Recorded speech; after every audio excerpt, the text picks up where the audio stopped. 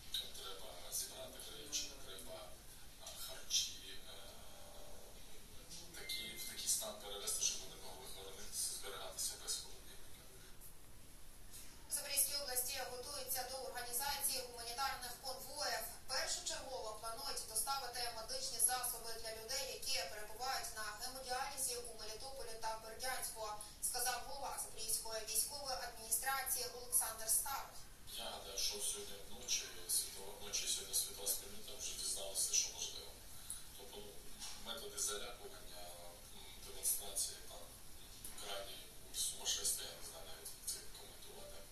Тому що ну, разом з тим ми зібрані, ми продовжуємо працювати, ми прораховуємо гуманітарні ну, конвої, які можемо доставити. Зараз пріоритетно це медичні засоби.